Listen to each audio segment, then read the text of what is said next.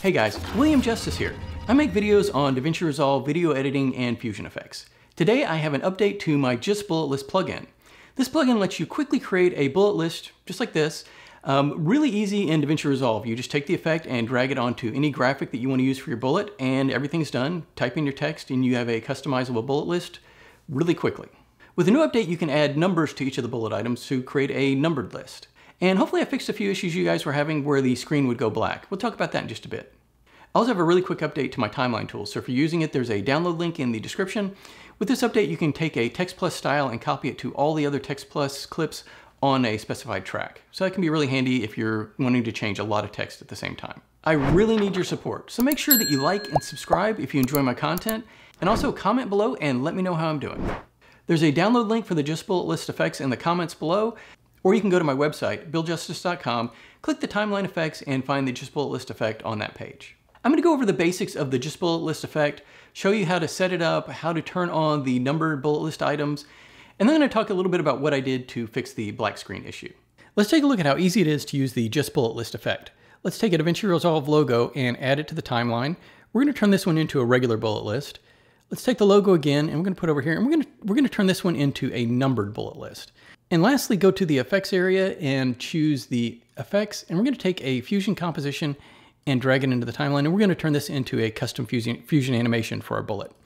So let's do the first one. The first step is to um, adjust the length of the clip to however long you want the bullet list to be. That looks good. And go to the effects area, find the William Justice folder and take just bullet list and drag it right on top of the clip it took your clip and turned it into the bullet and added some text. Now the clip can be a fusion animation, a video, graphic, really anything that you want. Let's uh, let me show you how to really quickly customize this. To change the bullet list position, text, or whatever, go to the effects area and search, look for just bullet list. So real quickly, you can change the font. We can adjust the color. So we'll adjust the font size, reset it to the default. The list position allows you to move the list so we can kind of shift it over a little bit. Let's make the text just a touch bigger. There's a line spacing, so you can have them further apart. So if you have, if your fonts get bigger, you may need to space them out a little bit more. The animation delay is the delay between each of the animations as they fade in. So if you want them to fade in faster or slower, you can change the animation delay. That's the number of frames between each of the fade ins or whatever effects you apply to the bullet. You can adjust your lines of text. And the new version supports two lines of text. So underneath that, you could um, you could put in some more text and adjust the spacing. Gives you a little bit more flexibility. The horizontal anchor allows you to, so right now you can see that they're aligned to the left. You can click this one and it'll be aligned to the right. And after you do the alignment, you might want to adjust the bullet position and size to fit with where your bullets are going. The default bullet list supports up to eight bullet list items. If you don't need that many, all you need to do is remove the text from each of the lines. So we'll remove the last three lines. You see we have five bullets there. The timing that you set which when each of the bullet items fades in. Um, refer to the, there's a link in the description and you can refer to the first video where I go into a little bit more detail on how to adjust the uh, bullet timing. Text, we can adjust the text opacity, we can move it around, we can adjust the tracking, um, adjust the angle, and all of these parameters are animatable, and I'll, I'll, show you what you need to do to animate that. And there's a, a write-on to create some write-on effects. Reset that. The bullet option lets you adjust the fade in and fade out. You can adjust the bullet position. You can see we can move them over if we want them on the other side. You can put them really wherever you want and adjust the size to make them a little bit bigger or smaller. And we can adjust the angle. So a, a lot of different options. Then we have the number option, and by default, the numbers are hidden. To get them to show up, you just need to take the blend and slide that over to one, and you'll see that we have a number on there. It doesn't go great with the uh, DaVinci Resolve logo, so you could go to the, back to the bullets tab. Let's take the bullet blend all the way down so that we can see the number. We'll go to back to number. We can adjust the font, play with the color a little bit, um, adjust the size, and we can move the position of these numbers around depending on what your uh, animation is set up, and we can actually spin them an angle like that. And we're gonna do an animation for the spinning numbers next. Okay, so let's take a look at the next bullet list. Okay, so here's the uh, next bullet list we're going to set up. This one we're going to want to animate. So if you want to animate it or change some keyframes, you need to right click on it and say new fusion clip. To be, the, to be able to animate this does need to be a fusion clip. So we took this graphic and turned it into a fusion clip. So it's going to work pretty much the same. Let's take the just bullet list effect and drag it on. And we got the basic bullet list set up. And all we're going to do is we're going to come in and let's adjust the font. space them out a little bit more. We're going to have the animated numbers coming in. So go to the bullets area and we're going to take the bullet blend and bring that all the way down. And we're going to take the number and put that up. So we're going to have numbers there. And let's change the number font. And make it a really, a really thick font. Okay, so we're going to animate this number here. First, I want to choose a color. Let's kind of make it a fun color there. Go to the first frame, and we're going to keyframe the angle. And let's go over about uh, 10 frames or so. And we're going to set the angle to 90. And that's about it. It's going to fade in, and the number is going to spin into position by just keyframing. So all, all of the uh, all the options are keyframable. So we could even keyframe the. Uh, let's go to the text and keyframe the angle go about 10 frames or so, keyframe the angle again, go back and adjust it. And now we have uh, some spinning in text.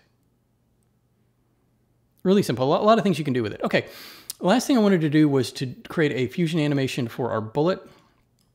So we have a fusion animation, we're gonna drag it out to however long we want. We'll get into fusion, and we're just gonna make a real simple animation. We're gonna take a background, drag it into the media out, bring the blend down, take another background, merge it over, and we're gonna click the, uh, with the background selected, we're gonna click the ellipse mask, and that's gonna get our circle. This is a basic bullet shape.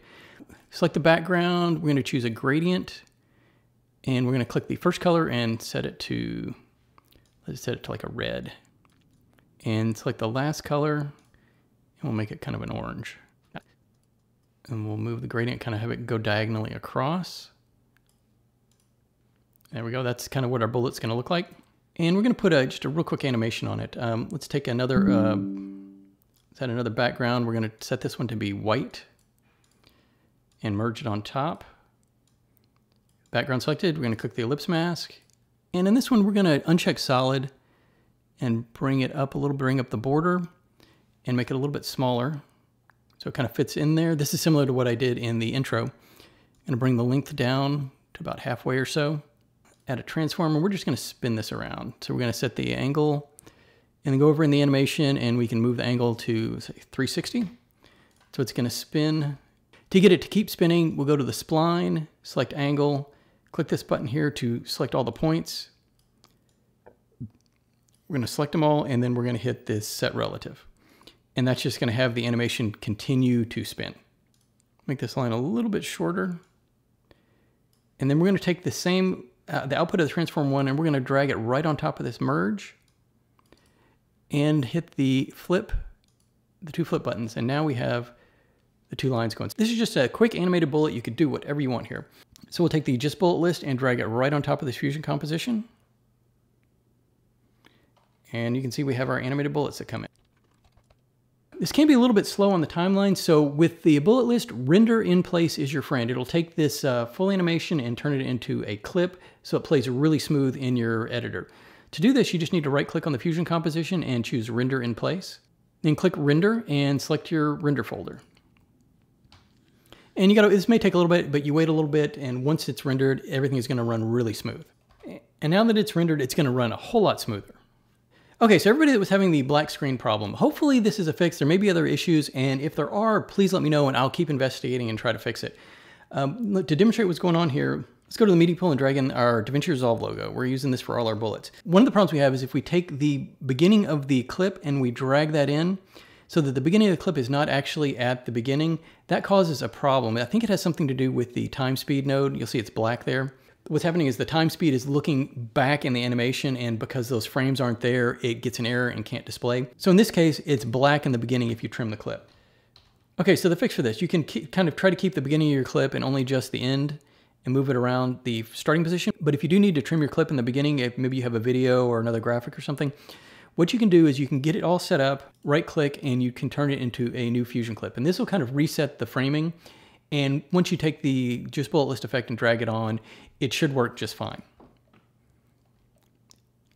Okay, the, ne the next black screen problem, hopefully this one is fixed. If not, please let me know. This uh, I think this was a font issue.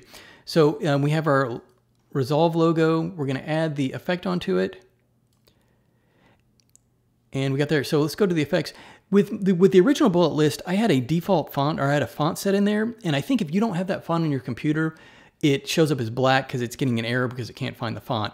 Um, so if that happens, you can just click this and choose one of the fonts and hopefully that'll fix it for you. And hopefully with this new version, it automatically defaults to the font that's set up for your computer. Um, if not, if you're still having problems with the black screen, um, please let me know and I'll dive in and take a look and see if I can get it fixed. Thanks so much for watching. I really appreciate everyone's support. So make sure that you like and subscribe if you enjoy my content. And leave some comments below and let me know what you think of the Just Bullet List effect. Have you used it? Is it something you might use in one of your projects? More videos coming soon.